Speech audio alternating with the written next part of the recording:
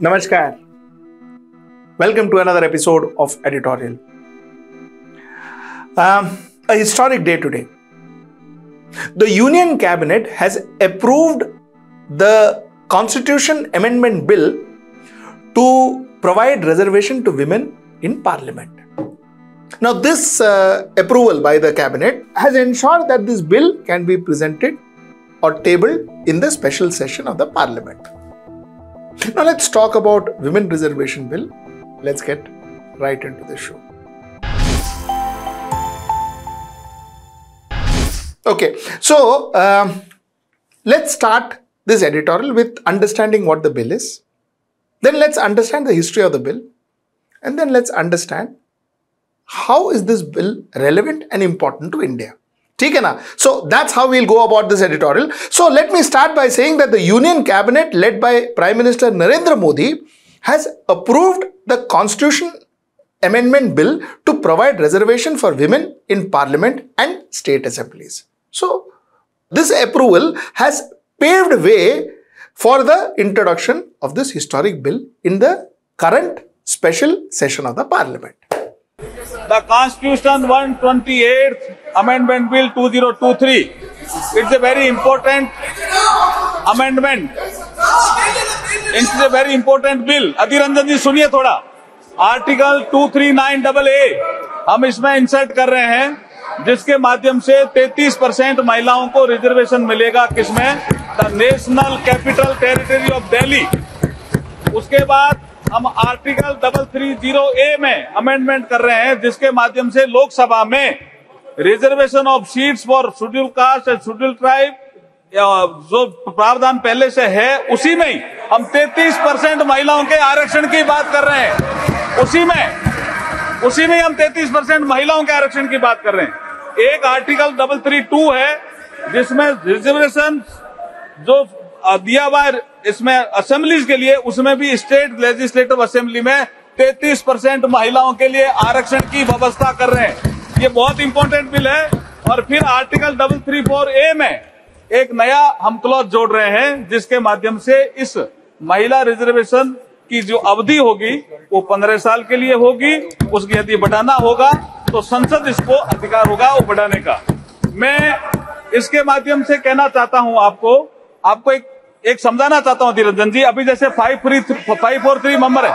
It is already there in the you you can see in the supplementary list of the business you now the new bill which is being introduced today is identical to the bill of 2010 now 2010 bill let me tell you was talking about 33% reservation for women in the, like I told you, the Lok Sabha, the Rajya Sabha and the assemblies.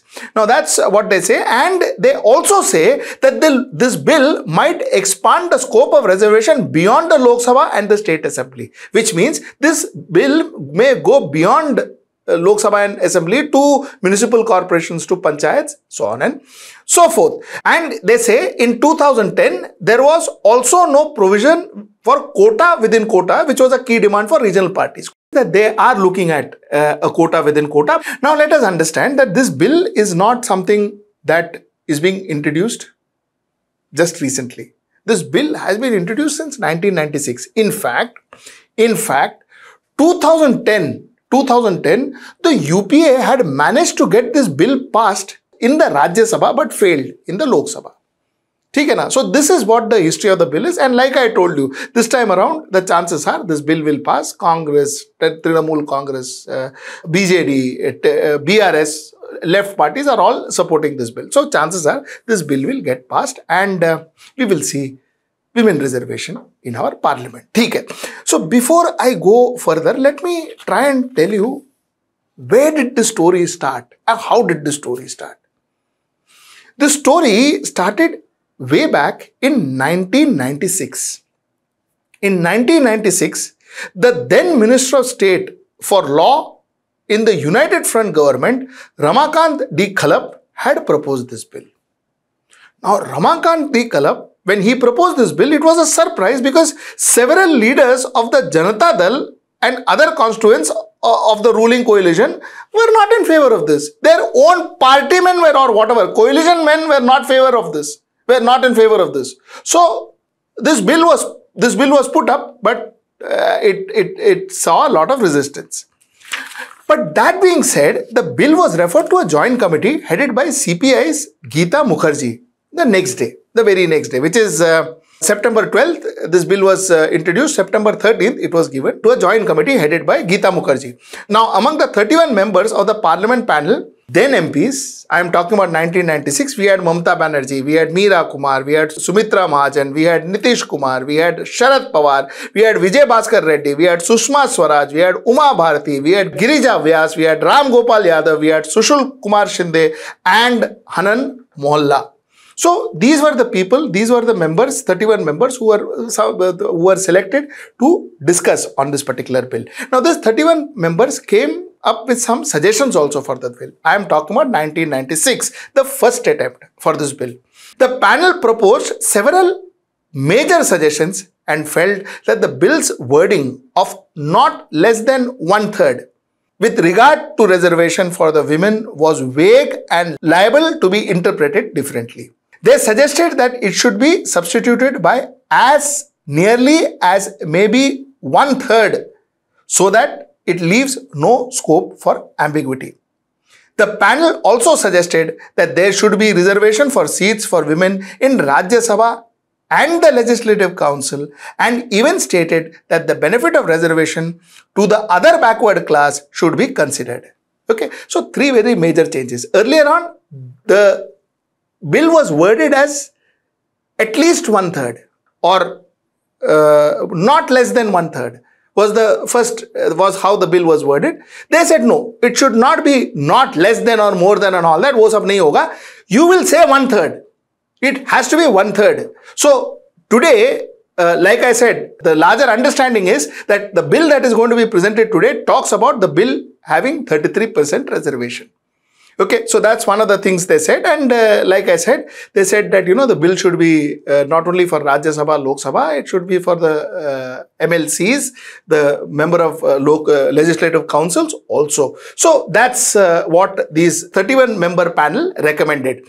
The committee recommended that the provision governing the reservation of seats for women in the Lok Sabha and the State Assembly should be for a period of 15 years from the date of commencement of the Act. With them being reviewed after the period to decide whether the reservation should continue or not. So, 15 years. They said from the date the act is commenced, 15 years, dekhenge. Let us see what happens. If everything is fine, we will continue the act. If there are issues, we will amend the act, change the act, stop the act, etc. So, this was the decision. This was one more recommendation from them. Now, there is another important recommendation from this committee and the recommendation was that the panel also spoke about states where there are existing reservations to the scheduled caste and scheduled tribes in less than three seats. In such a case, the committee suggested a rotation policy. One seat reserved for women in the first term and the other seats reserved in the second term, with the seats being unreserved in the third term.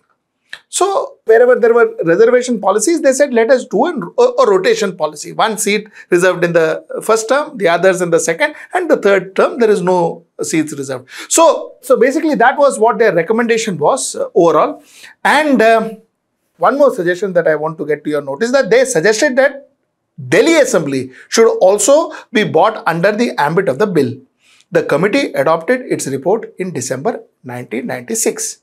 ठीक है ना so the report was adopted in 1996 but the bill was never passed now why wasn't the bill passed there were some strong voice of dissent now one of the no voice of dissent was nitish kumar nitish kumar the current uh, Bihar chief minister who spoke on the reservation for OBC women said that the bill provides reservation for women belonging to SCs and STs. I am of the opinion that the women belonging to OBC should also get a fair deal.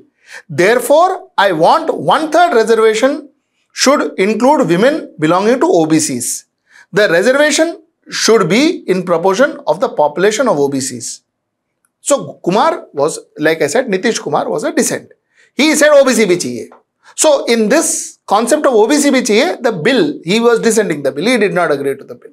ठीक है ना Now, um, there were some people like uh, late Mr. Sharad Yadav also who made some statements which were uh, pretty uh, uh, controversial. Statements like कौन महिला है कौन महिला नहीं है केवल बाल कटी महिला भर नहीं रहने देंगे what he said is who is a woman who is not only short haired women won't be allowed which means what he was trying to say that only modern women cannot come into the parliament. It has to be a larger uh, inclusion of women should be ensured. Uh, but this statement what he made uh, went uh, was was controversial and uh, it created a lot of controversy at, during that period of time. So it was people like nitish kumar people like sharad yadav who had a lot of uh, lot of objection. This is 1996.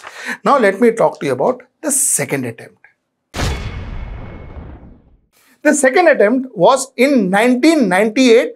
Now, in 1998, July 13th, the Lok Sabha saw a chaotic scene as then Law Minister M. Thambidurai tried to introduce the bill and Rashtriya Janata Dal, RJD and Samajwadi Party's MP registered protest. Amidst the ruckus, one RJD member, Surendra Prasad Yadav, snatched the copy of the bill from the speaker GMC Balayogi and tore them up. So this is what happened in 1998. Again, the there was a huge resistance from Rashtriya Janata Dal and uh, people of the Samajwadi Party. Now, Surendra Prasad Yadav actually went on to say that Dr. Baba Saheb Ambedkar had appeared in his dreams and asked him to tear the bill. So this was what he said. Now the third attempt.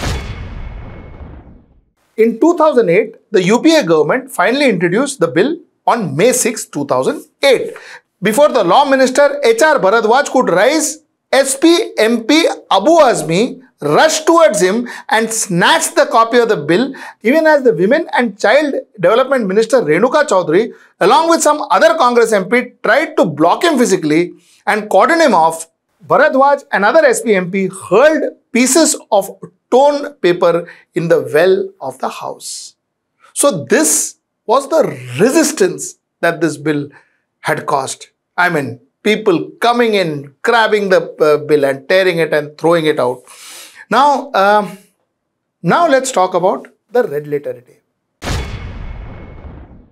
Like I told you before, 2010. March 9, 2010, after pending for 14 years, the bill saw a breakthrough. The RJD was no longer part of the UPA government and along with the SP, it extended outside support to UPA government. In a surprise move, Nitish Kumar made a U-turn and extended support to the bill, leaving his senior party colleague Sharad Yadav red-faced. And after two days of spirited discussion, the Rajya Sabha on March 9, 2010 passed the bill over two-third majority and the BJP and the left who were in opposition supported it with 186 in favor and one opposing vote coming from the farmer leader Sharad Joshi. So this was the history of uh, women reservation. 2010 Rajya Sabha passed it, but Lok Sabha didn't, like I told you. And now it looks as if this bill is going to get passed and it is going to be a historic bill. Now, uh, Congress has constantly been taking, trying to take credit for this bill. It was, uh, I would say, a good strategic move by, uh, by, Sonia Gandhi to talk about this bill on Sunday, that is a day before the special session, the special parliamentary session, where she always kept on saying that this is our uh, bill. We mooted this bill first, uh, and we were always in support of the bill. Even I think even today, Jairam Ramesh tweeted saying that, uh, you know, our PM says he is crusader for women empowerment. Time for him to rise above party politics, walk his talk, and have the women's reservation bill passed in the parliament. The Congress offers him unconditional support. This is what Mr. Jairam Ramesh says. So let's keep all this aside. Now let's talk and understand women's reservation bill. You see, politics is about representation. Representation of gender, representation of caste, representation of creed, community as much as possible. Because that's the concept of a democratic parliament. When you have representation, you take care of their interest. So, to take care of a community's interest, a caste interest, a gender's interest, you need people to represent that caste, community, gender. And therefore, women who are 50% of our population, if they are not given enough representation, then what representation are we talking about?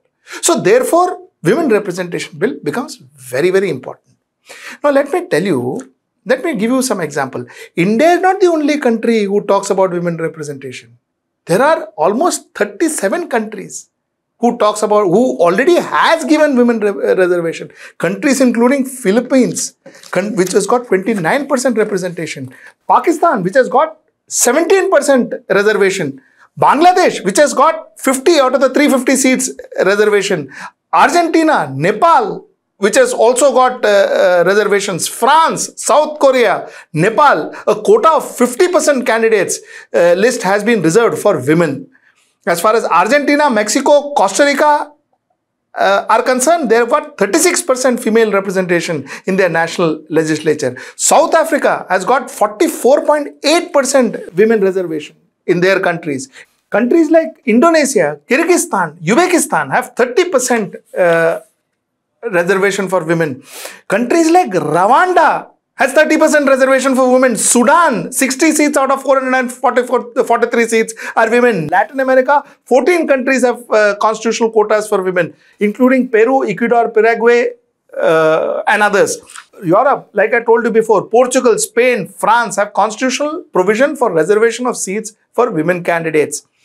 And uh, Germany, UK, uh, are some other European countries that also have uh, reservation for women. Australia and several other countries in the West have reservation for women. Argentina, like I already told you, Bolivia, these are countries that have given reservation for women. So 40 nations, as on 2010, 40 nations had given reservation for women, not 37, 40 nations had given reservation for women as far as, as far as 2010 records are concerned. So people, countries have given reservation for women, including countries like Pakistan and Bangladesh.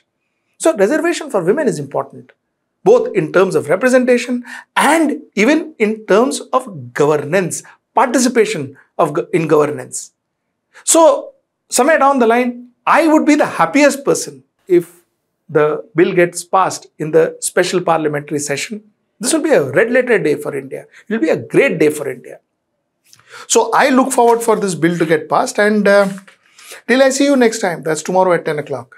Namaskar.